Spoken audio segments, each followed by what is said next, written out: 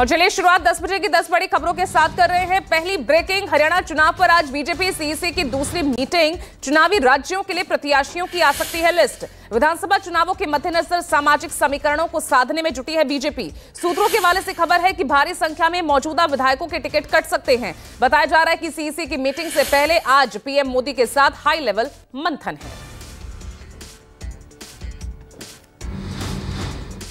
दूसरी बड़ी खबर, संवैधानिक संकट में फंसे हरियाणा के सीएम सैनी ने जल्द ही कैबिनेट मीटिंग बुलाने का फैसला लिया है। सूत्रों के मुताबिक खबर है कि कैबिनेट मीटिंग के दौरान विधानसभा को भंग कर सकती है सरकार, जिसे लेकर संविधान विशेषज्ञ की राय ली जा रही है। आगे बढ़ रहे हैं तीसरी ब्रेकिंग के साथ फरुखाबाद सुल्तानपुर कांड को लेकर योगी सरकार पर सपा कांग्रेस का हमला। राहुल गांधी ने योगी सरकार को घेरते हुए कहा, बीजेपी के राज में न्याय की उम्मीद करना गुना है। और साथ ही देखिए किस तरह से अखिलेश यादव ने भी तंज कसा। यूपी में भ्रष्टाचार अपराध की जुगलबंदी चल रही है। आपको बता दें, फरुखाबाद में हाल ही में दो सहेलियों के शव एक ही फंदे से लटके मिले थे।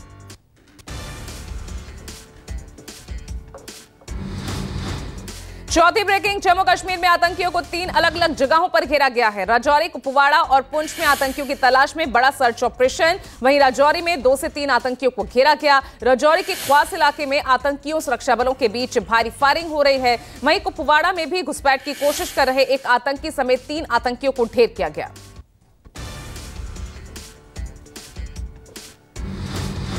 पांचवी ब्रेकिंग, जूनियर डॉक्टर्स ने ठुकराई सीएम ममता बनर्जी की अपील। आंदोलन वापस लेने से जूनियर डॉक्टर्स ने इनकार किया है। कहा, जब तक पीड़ित पीड़ित डॉक्टर को न्याय नहीं मिलेगा, तब तक आंदोलन वापस नहीं लेंगे। इस बीच ममता ने चेतावनी जारी कर कहा, बंगाल जला तो नॉर्थ ईस्ट समेत दिल्ली भी महफूज नहीं रहेगी। पिछले 20 दिनों से डॉक्टर्स आंदोलन कर रहे हैं।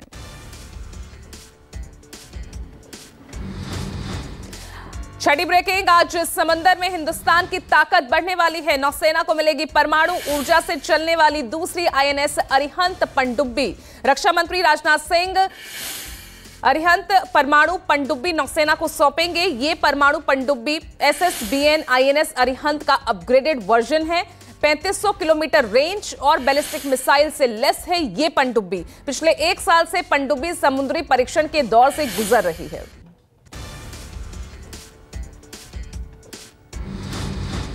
सातवीं ब्रेकिंग यूपी के बहराइच से, जहाँ भेड़ियों को पकड़ने के लिए वन विभाग की टीम ने डेरा डाला हुआ है। आदमखोर भेड़ियों की तलाश में वन विभाग ने ड्रोन कैमरों को, कैमरे भी लगा दिए हैं। वन विभाग के ड्रोन कैमरे में कैद तीन से चार भेड़ियों का झुंड दिखा है। पुलिस के मुताबिक भेड़ियों के हमले में अब तक आठ लोगों की मौत हो चुकी है, जबकि पंद्रह लोग जख्मी हुए हैं।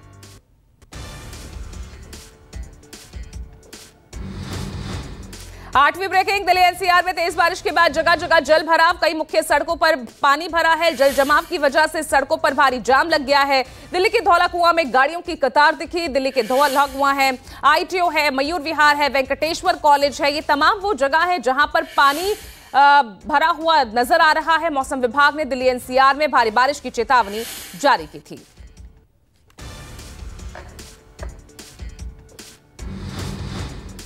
नौवीं ब्रेकिंग गुजरात से जहाँ कई दिनों से बारिश का कहर देखने को मिल रहा है। बारिश की वजह से जान गंवाने वाले लोगों की संख्या बढ़कर 26 हो गई है। लगातार चौथे दिन भी भारी बारिश से हाहाकार मचा हुआ है। बाढ़ प्रभावित इलाकों में रेस्क्यू का काम चल रहा है। तकरीबन 17,800 लोगों को सुरक्षित स्थानों पर पहुँचाया गया है।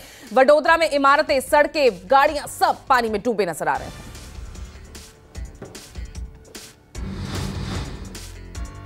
और दसवीं ब्रेकिंग पटना के पुनपुन में बड़ा हादसा हुआ है। पूजा सत्संग सुनने आए लोगों पर दीवार गिर गई। 40 से ज़्यादा लोग हादसे का शिकार हुए हैं और बताया ये जा रहा है कि अचानक से शुरू हुई तेज बारिश के चलते मकान की दीवार गिर गई, जिसके बाद चीख पुकार मच गई। घायलों से महिला और बच्चे, इनकी संख्या ज़्यादा बताई जा रही है। घायलों को नजदीकी अस्पताल में भर्ती कराया गया है।